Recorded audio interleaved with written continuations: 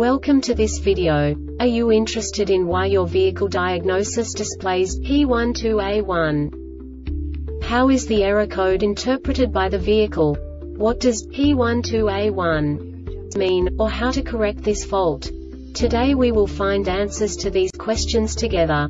Let's do this. First, let's look at the history of diagnostic fault code composition according to the OBD2 protocol, which is unified for all automakers since 2000.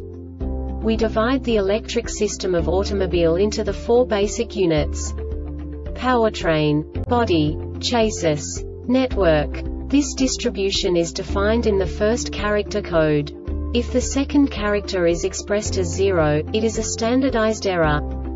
In the case of numbers 1, 2, 3 it is a more prestigious expression of the car-specific error. The third character specifies a subset of errors. The distribution shown is valid only for the standardized DTC code.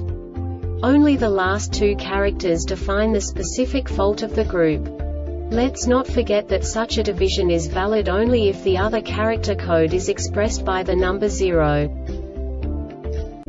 Our website airbagreset.sk produces useful videos for you. You do not have to go through the OBD2 protocol anymore to know how to troubleshoot any car breakdown. You will find all the diagnostic codes that can be diagnosed in a Audi vehicles. Also many other useful things. The following demonstration will help you look into the world of software for car control units.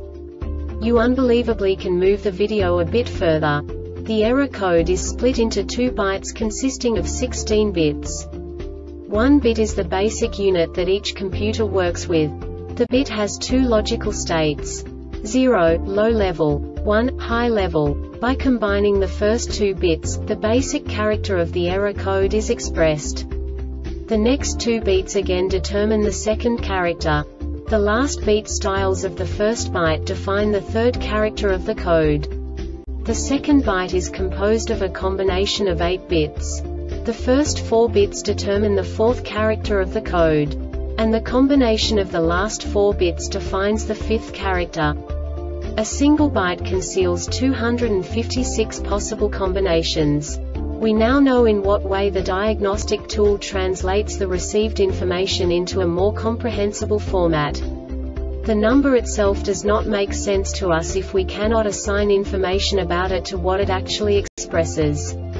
So, what does the diagnostic trouble code P12A1 interpret specifically Audi car manufacturers? The basic definition is fuel rail pressure sensor inappropriately low.